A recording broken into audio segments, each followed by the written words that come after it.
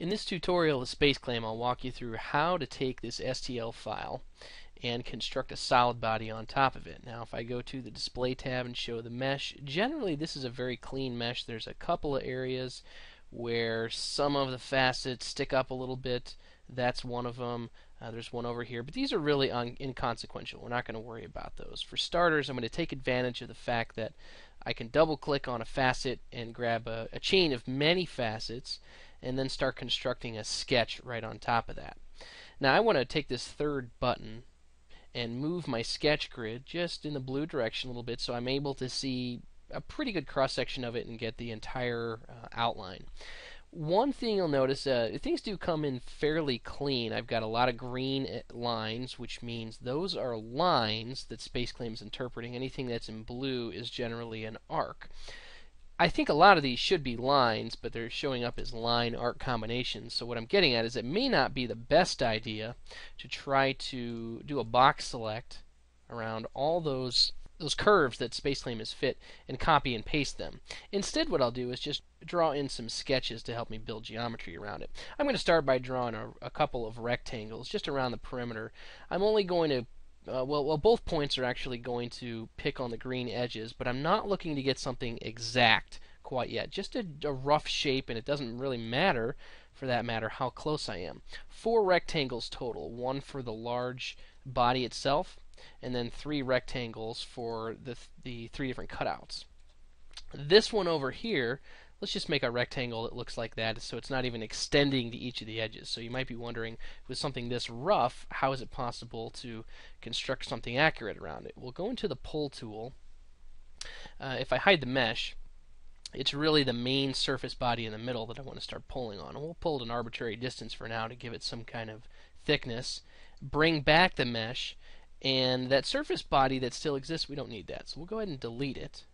Um, but this is where it really gets it gets quick. If I go into the pull tool and click on this up to button until there's a bold outline around it, now this becomes sticky. That means anytime I click on a face, I can immediately click on a facet to which that face needs to go up to. So I'll do the same thing here. Click on a face, facet, and it's really just a plug and chug operation at this point of clicking on faces and facets. If you can't find that face too easily, roll up on the wheel. That's query select. Then it becomes selectable. Then go ahead and click on the facet of your choice, the facet that you want. All right, so you can see that that goes through fairly quickly. Got a couple more to do. And I think I'm looking good on the top. Uh, I need to do the back side. Go down and get the bottom cavity as well. We'll roll up on the wheel to find that facet to snap it up to, and I've got one more. Roll up on the wheel, and I'm done. So the general shape of this I now have. One thing you might want to do is the top three surfaces may not all be the same height. So I could click on any two of them and snap them up to the same height as one. So one of them is my master and the other two are the slaves, if you will. You can think of it that way. Now, two more things to do. I want to put the holes in the model. Well, let's click on a face and go into a sketch mode. Now, I won't spend a whole lot of time with uh, this first one, but if I rotate my view, I'll double click on that red arrow 90 degrees you can see this is some kind of a threaded hole. So maybe this is something that you know ahead of time, the size of it. You could use our standard hole wizard and go ahead and plop a hole right on top of that face.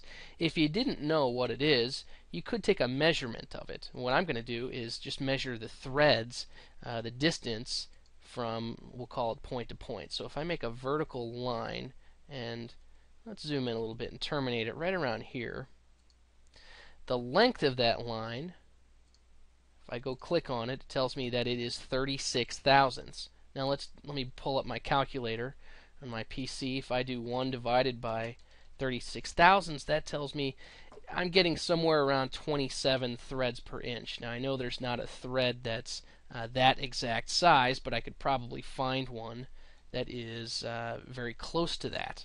And maybe my measurement was off a little bit. So then you could go into the standard hole tool, UNC, probably want something like a, uh, we'll start with a 10 by 24. Click on that face. and then go ahead and stick it uh, really anywhere for that matter because when you exit out now you want to use the move tool and actually put it uh, in the correct location. So let's go into a 3D mode because I'm still in a sketch mode. So I could say red direction up to and then click on the green face and that should center it on the green face in that red direction. Let's do the same thing now in the green direction and center it on that face. So it's not quite centered on the on that face as I thought, but that's okay. You get the idea. You could go into a cross section and center it that way and do the same thing with the other two holes. Now what I want to transition to are the six holes on this surface and the six holes over there as well. If I click on the planar face and go into a cross section mode, let's drop the cross section down a little bit um, the same kind of thing as before when I first started to create this, I don't have enough data to be able to reuse that and let SpaceClaim attempt to fit curves. In fact, none of those 12 circles are showing up as complete circles. So that just, it's simple, it just means I need to take an extra step in the way of recreating some three-point circles. Now I'm going to do every other one. Instead of drawing all uh, six of them here, I just need to do every other one, and in doing so I will have established a center point. If I draw a three-point circle around the small circles I just made, I've established a center point. So, what I want to do now is rotate these, all three of them, and not just rotating them. If I go into the Move tool, yes, that's what I want. Uh, let's make sure this is right on the center. I drag that blue knob, hold down the Control key, and start rotating. Now you're making a copy and we want the copy to go right about there, 300 degrees. If you're not on it exactly, that's okay. You can always type in 300. That's exactly what I'm looking for. Go back into select and delete the large circle because that's all I want are the six small ones. Alright, let's go into, uh, let's hide this the, the mesh and the solid and go into uh, the pull tool. Those three surfaces, I'm sorry, those six surfaces go into the pull tool and use the pull both sides. This will just ensure that I've got enough clearance in any given uh, in both directions and I'll pull them well beyond where they're supposed to go. Now let's bring back the original solid 2 and maybe I'll change the color. A quick way to do that is to go into the select tool, click on a face and you should have a small uh, toolbox pop up. I can change it to orange. It's just going to make things a little easier to see. I want to make a copy of those uh, six cylinders, I want to make them over to the right hand side. Here's the easiest way to do it. Go into the move tool. If you do a box select of those of those six uh, solids, just select at least one face of them. Small arrow down here that says select parents. If you click up once, now it has all six solids selected in the tree. Let's make sure that we're moving in the right direction. If I click the move direction tool, click any of these edges that define the direction I want to go in. So here's the order of operations. Click the red arrow, click up to, hold down the control key at this point because you want to make a copy, then click this face and it should make a copy of all six of those over to that other face. Now, I want to make sure these are in the correct orientation. So let's go back into the Move tool, select those, We'll go up on my uh, up select once, make sure I have the body selected, and rotate these 90 degrees. Really, any value should suffice so long as there's um, there's two cylinders at the quadrants in, I guess it would be the y direction, according to this y direction over here. Alright, now the very last step to do is to chop away material from the orange blocks using the green cylinders. For that, we want to go into the Combine tool. Really simple way to use this. Click the orange box. That's what we want to cut up. What's doing the cutting? Well, it's these cylinders. Before I select those, there's an option over here, Keep Cutter. Yours is probably checked. Go ahead and deselect it like mine is.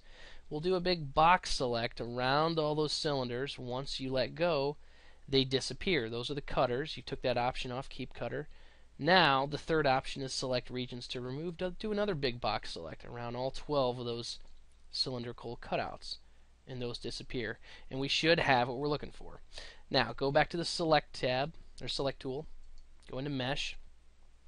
And maybe, maybe grab any face and go into a uh, sketch mode. let's drop our sketch down so we can clearly see the holes that we made.